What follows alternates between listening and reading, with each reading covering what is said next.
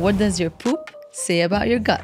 Your poop can say a lot about the health of your gut. So let's analyze these poop characteristics. Number one, the dream poop, consistent and well formed. So if your poop is smooth, brown, and easy to pass, it means you have a healthy gut. Number two is the runny poop, or of course, frequent diarrhea. If you have loose, watery stools often, it could be a sign of gut inflammation or food intolerances or an imbalance in gut bacteria, or even it could be linked to certain conditions like IBS or SIBO.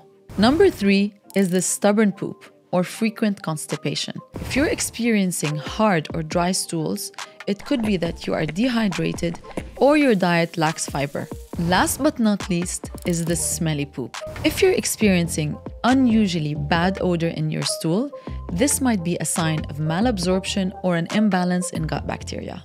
So guys, if you want that dream poop, focus on fiber, water, and probiotics.